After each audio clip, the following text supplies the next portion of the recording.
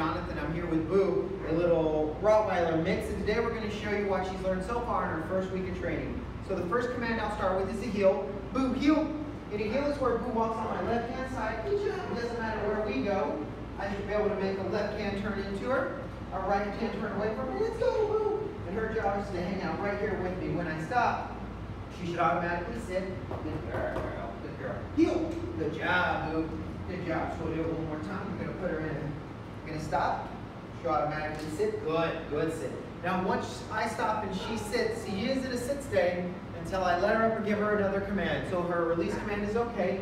Good girl. Good girl. Good sit. Good. But she is in a stay until I let her up. Good.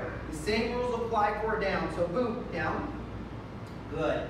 So once those elbows hit the floor, she's in a down stay. she'll be able to walk away, and her job is to stay there. To release her, I'll give her the okay command, and that means she's free to get up.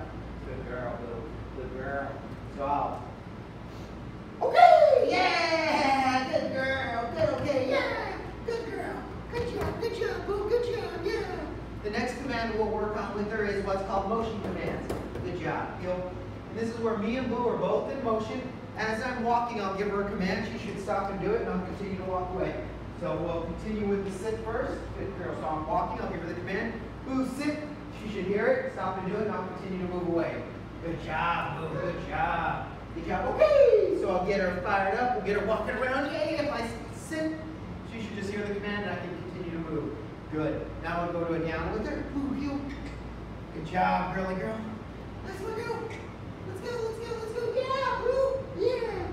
I'm gonna give her the same command. Boo, down this time with the down. This one's a little bit harder. Good girl. And I'll continue to walk away. Good job. No.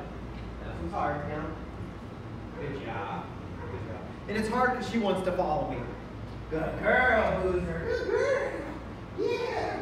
Good job, belly rubbing. Okay. Yes, you get a belly rub for that. Okay, Boo, okay. I'll give her the okay to release her again. And then the last command we'll work on is a place command. So, Boo, okay. I'll give her the command. You ready? Place.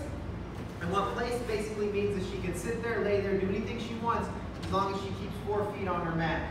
I'll let her off. Okay, Boo. Good girl. Give it to her again. You ready? Boom. Place. Good job. Excellent.